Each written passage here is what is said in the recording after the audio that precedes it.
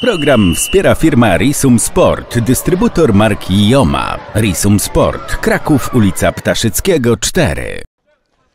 Dawid, dzisiaj twój oficjalny debiut na stadionie Hutnika w meczu ligowym. Przegrywamy 3-1 z Radunią Sężyca. Prosiłbym o krótką opinię o meczu. E, No tak. E, Wydaje się, że po prostu źle zagraliśmy w pierwszej połowie. E, Tak e, nie wiem, nie wiem skąd to się wzięło, ale zbyt ospale staraliśmy się podchodzić wysoko. E, Przeciwnik mijał, mijał ten nasz wysoki pressing. E, No dwie bramki ustawiły spotkanie. W drugiej połowie było zupełnie inne oblicze Hutnika, które, które myślę wszyscy byśmy chcieli oglądać. E, Zabieraliśmy piłkę wysoko, no stwarzaliśmy sytuację Strzeliśmy tą bramkę kontaktową. Była sytuacja na, na remis. No, no trzecia bramka wpadła, no to wiadomo już postawiliśmy wszystko na jedną kartę, bo chcieliśmy bardzo wyrównać. E, No i przegrywamy niestety e, 3-1.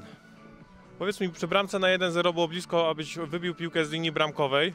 Jak ta sytuacja wyglądała z twojej perspektywy? E, No tak, e, e, napastnik e, poszedł do lewej strony. Ja myślałem, że, be- że będę ratował, że uderzy po krótkim, więc, więc e, no, ambicjonalnie poszedłem na wślizgu. No teraz myślę, że można gdybać po fakcie, że, że, że powinienem zostać, no ale, no ale nie liczyłem, że aż tak złamie piłkę i ona wpadła mi za plecami po, po długim. No, E, no szkoda, no jakbym mógł przewidzieć, że, że, że tak złamie piłkę, no to po prostu bym został i ją wygarnął i nie szedłbym e, blokować pierwsze tempo e, pierwszego słupka. No ale błąd pojawił się gdzieś tam wyżej, bo, bo za dużo puszczaliśmy tak, że, że przeciwnik dostawał piłkę na, wol, na wolne pole i albo źle trzymaliśmy linię obrony, więc e, na pewno jest dużo do poprawy e, w tej kwestii. Przed najbliższym meczem, jak myślisz, który element gry jest waszym największym mankamentem i nad którym musicie najwięcej pracować? E, Musimy nad e, wieloma rzeczami pracować. No, nasz zespół jest sto- stosunkowo młody, mamy mm, dużo młodzieżowców, więc, więc no, weszliśmy w pewien etap też.